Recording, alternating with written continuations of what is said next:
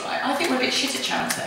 Because we watch all the documentaries, don't we? We watch all the appeals, we get drawn in. It's like every day, Nikita walks 20 miles for water.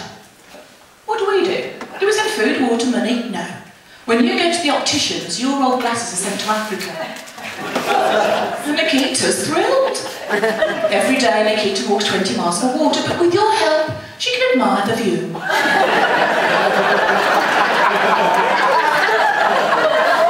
then what do we do? Then we send out our old mobile phones. Now the poor cat's got to walk an extra 20 miles to get a top of card.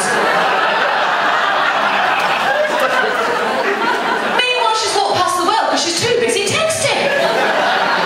Where's the fucking water? Send. I'm doing Weight Watchers. Have you got a Weight Watchers in Bollington? Macclesfield. Oh, they're, they're shouted a member, wasn't it? That's Macclesfield. And there's two points in this glass of wine. it's so patronising. If you go, it is so fucking patronising, isn't it? Right. True story, right? I joined, right? I joined before Christmas. And our leader, right, she gave us a Christmas card each and we had to write in it what we wanted for Christmas. Then she collected it in and she was giving it out the week before Christmas. Right, I got dead excited because the woman next to me, she was going to be two stone lighter. And this woman this night was going to be two dress sizes smaller. And I got a man with a big cock. that was a great way in.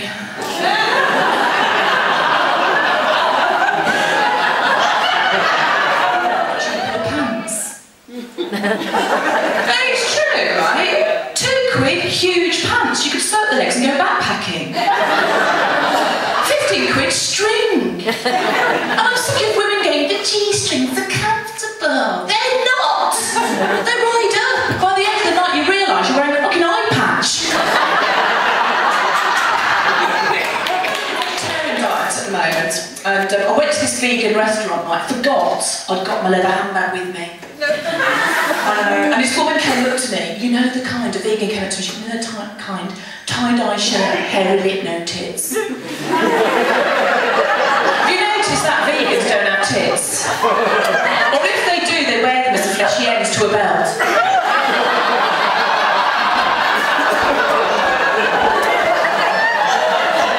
She saw me in the handbag. She came up to me. She went, "Hmm, "Did a cow die for that?" I said, "No, but one's about to."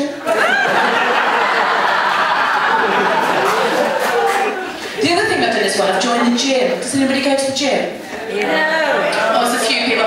One thing the women, the women never ever speak to each other. They never speak. Ever. And then the other day, right, and I know this is gross, I apologise, but the other day, we found a turd in the ladies' shower. That's it, it was gross, but you know what? It was instant bonding. It was like, oh my god, that's disgusting, awful, dreadful, let's go for coffee, yes, let's go for coffee.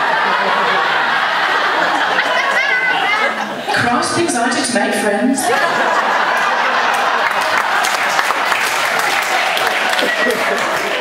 friends, right, are obsessed with fixing me up on blind. My one friend, right, wants to put send me on a blind date. I said, look, I don't want to go on a blind date. She went, all right, get him to send you a photograph. He sent me this photograph. I thought, oh, he looks really nice. I'll meet him. Right? I'm quite tall. I don't mind small men.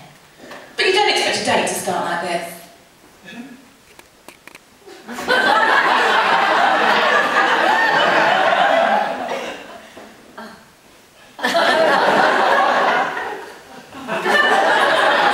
I ho! I mean, what was it before play? Fucking Lego. He got really arsy with me though. He went, you're too tall. I went, yeah, well, you're too small. You saw the photograph? It was to scale. The other thing I tried, right, and I'm not planning this, I do apologise. I went to one of those singles parties, yeah? You know the ones where you throw your car keys in? I was the only one to do it.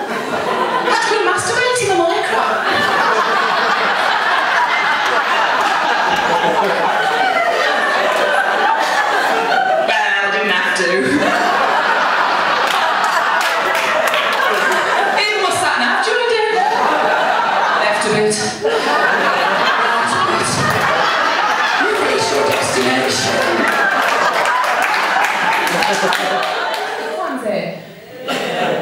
Who the here? You're oh, who was that lady there? Was that you? Oh, I'm going to ask you a question. Like, you obviously like football, yeah? Do you find it hard as a, as, as a woman liking football? Do you get patronised? No. You don't? I don't, right? I find it really, really hard. My ex-boyfriend said to me, he said, you're not a football fan. I said, I am. He went, all right then, name your squad. You know. I said, I can't. He said, you're not a football fan. I said, I am. I'm just not fucking autistic. football fan, actually. Uh, I mean, we are, West Brom can be a bit shit. We were voted the most unfashionable fans in the league. How shit is your team when they keep looking at what the fans are wearing? All the away fans have started to sing You're going home in a nasty cardigan.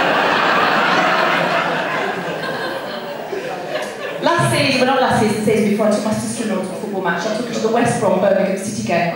She knows nothing about football. She doesn't know that the managing director of Birmingham City is called Karen Brady. Like, I'm Karen Brady, so we sat there, and all the Albion fans started to sing, Karen Brady's a slag. and my sister-in-law went, how do they know you're here?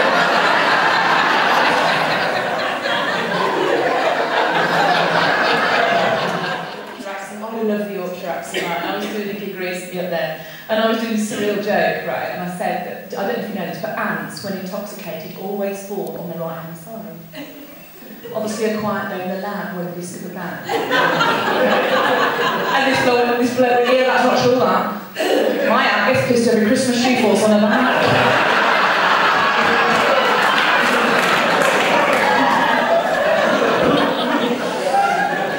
Yeah, we've got any primary school teachers in. Don't shout out, put your hand up. Where? Oh, at the back there. Hello. The little ones are great, aren't they? You can drop kick them. Can I ask what time? What time do you finish school?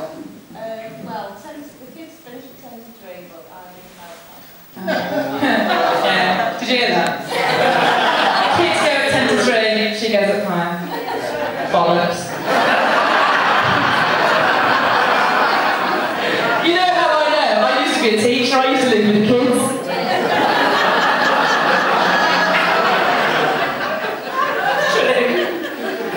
Um, I used to be a primary school teacher, but uh, I had to leave. I started to suffer from post 330 Tourette syndrome.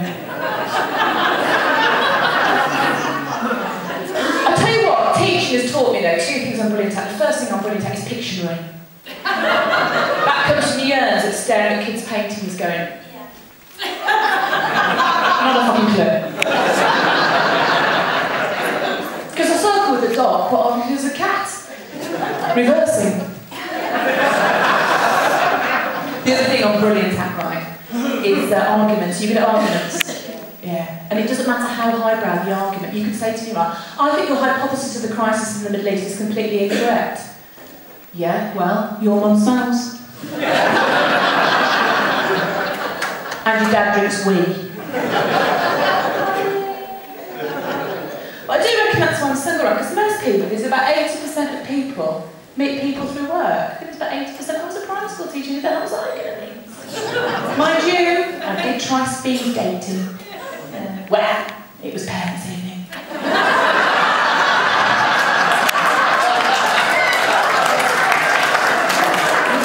You've